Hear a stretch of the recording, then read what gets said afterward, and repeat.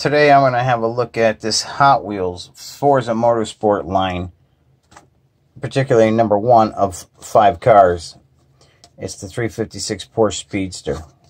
As you can see, this is metal metal, which means metal body, metal chassis, and riding on real riders. That's rubber tires. You can see they have the prototypical wheel for the 356, and uh, yeah, so this is an example of what Mattel's Hot Wheel division can give you if you're willing to pay for it. They got such a stigma of being just a 99 cent car.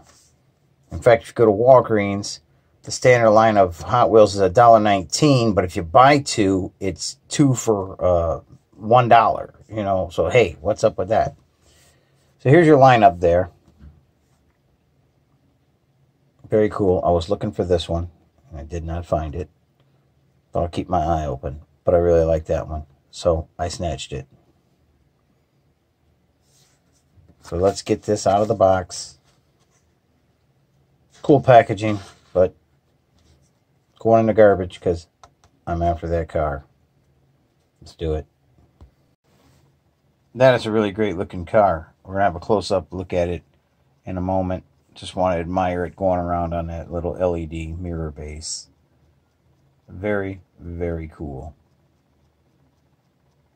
let's get to it. Start with a die-cast bottom, as you can see.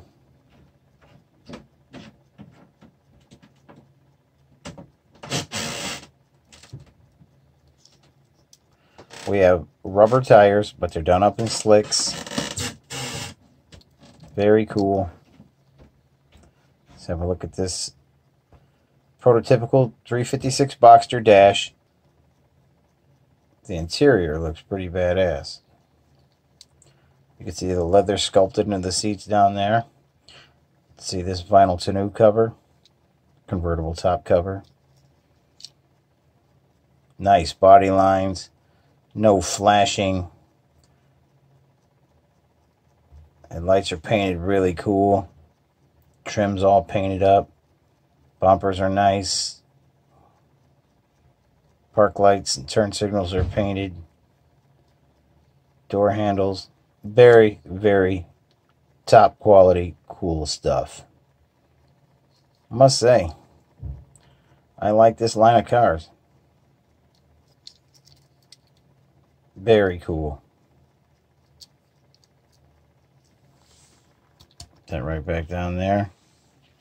And yeah, I must say, that was worth the review. Thanks for watching. Howlin' Wolf out.